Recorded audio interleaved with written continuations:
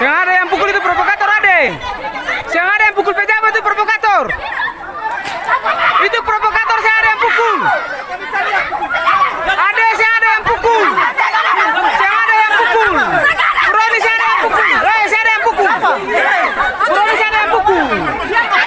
Kedatangan kelompok masyarakat adat di kantor DPRD Seram bagian Barat SBB memenuhi undangan DPRD terkait perda adat membuat suasana di halaman kantor DPRD menjadi ricuh.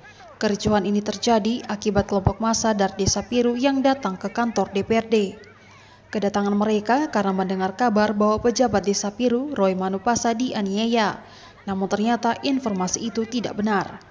Informasi yang tidak benar itu memang sengaja dihembuskan orang tidak bertanggung jawab untuk mengacaukan pertemuan antara kelompok adat, DPRD, dan Kadis Pemdes. Untuk diketahui, dalam polemik Pilkades dan Perda Adat, pejabat Piru, Roy Manupasa, lebih mendukung proses Pilkades.